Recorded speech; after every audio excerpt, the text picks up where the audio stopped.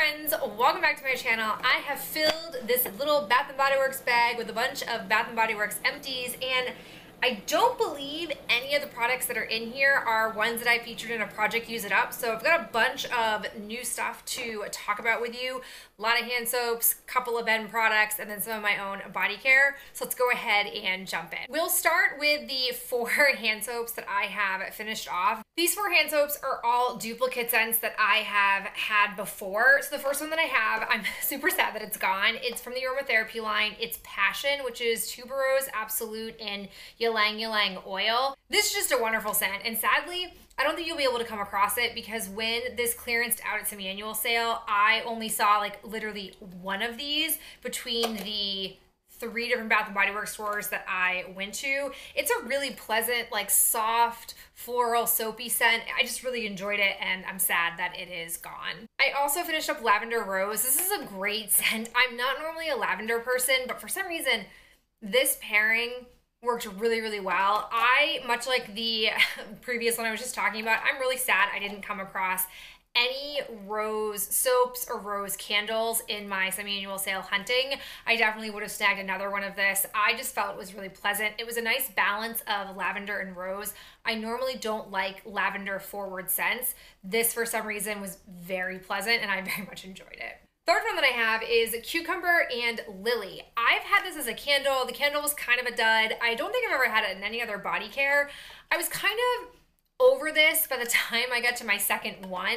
This to me really smells like a shampoo. I can't pinpoint what drugstore shampoo it reminds me of, but I've always felt that way. It's really, really strong and intense. So I definitely was over it by the end, but happy to have worked through it. And then the last one that I have is a classic standby. It's rose water and ivy. This smells exactly like the candle. It's dead on. I am not sure they've ever made um, an exact body care like this, but this was really strong. I would smell it on my hands even after I would sometimes hand sanitize. I could still pick this up for a scent. Really liked it. I prefer it, I think, as a candle more so than having it linger on my body, but it was nice. Haven't had this scent in a while. All right, let's move on to Ben's products. I have two lotions that he has finished off. He finished off Graphite from the men's collection and Ocean. The scents on here this claims that this one, which is graphite, is sage, bergamot spice, and leather wood. And this one is blue cypress, uh, Vivateer, I don't know if I'm saying that correctly, and coastal air. I'm gonna be honest, I don't really think that the men's care line smells all that different. Maybe I don't have a distinct enough nose, but they kind of just all give off the same cologne base note scent. That's all they really smell. I like both of these scents on Ben, and I like these lines. It's a lotion that I finally have gotten him to use, but I only will buy these when they are basically 75% off. Uncharacteristically to this semi-annual sale, which there was really nothing 75% off uh, for most of it, I will say normally they have some kind of collection or bins where they are discontinuing that particular line of scent, and that's when I'll purchase these for Ben. Um, he's got a few more of these. He is a fiend with lotion when he really is cognizant about preventing his skin from drying out. Then I've got two more body care items that I used up. The first is a scrub. I just want to say for a second, it's really cool that I used this scrub up. Maybe cool isn't the best way to describe it, but I think it's cool. I finished off the White Jasmine Exfoliating Body Polish, which I got in the most recent semi-annual sale. I can't tell you guys if that has happened in like the last three years where I've purchased something from a semi-annual sale and then immediately within like I don't know, five weeks of having it, have not only pulled it out, but used it up entirely. It's super cool. I definitely chose to prioritize this over other scents that I should work through or older product in my closet, but I was very happy to work through this. This scrub was really interesting.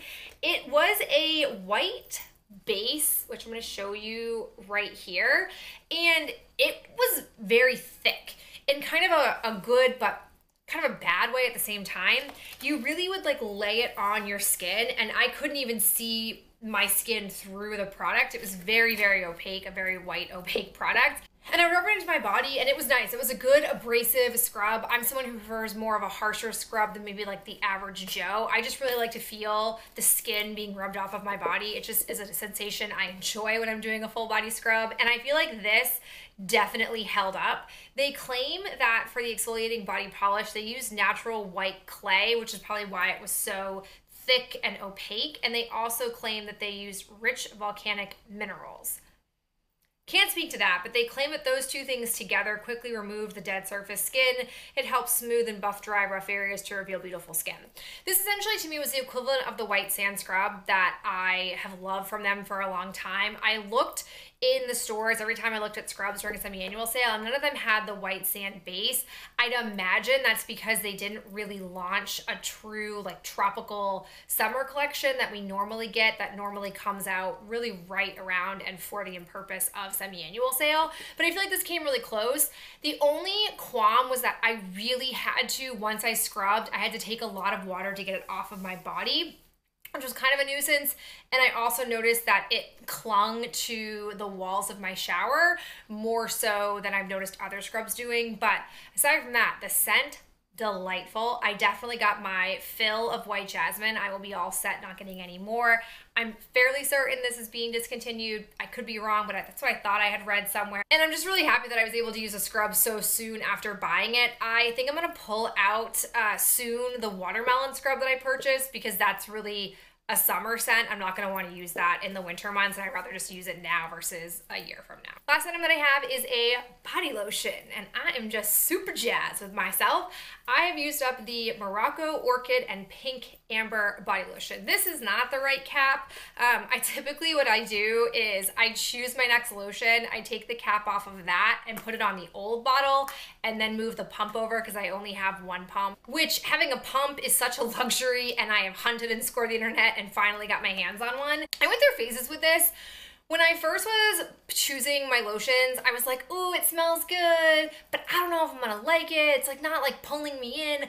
I liked this on my body. I'm not sure if it was because it was just mixed with my body chemistry or if I just liked it more as like a scent that would dissipate and I preferred it more out of the bottle, but super enjoyable. It was very nicely moisturizing. I have no real complaints. I mean, this thing is from, I wanna say like 2014. That's when I finally stopped buying lotions and I've been slowly trying to work through them ever since. But I'm very pleased to have finished this off and very proud of myself for finishing it off without it being in a challenge. I predominantly was using this in the morning. So basically when I would shower in the morning and like have to go about my day, I would use this and at night I was preferring more of a thicker cream. So the fact that I got through this despite not using it every single day, I am even more enthused about. So very, very happy. All right, guys, that's it for me and this round of trash. I hope that you enjoyed hearing my thoughts about the products that Ben and I have used up, and I look forward to sharing more empties with you in the near future. Bye.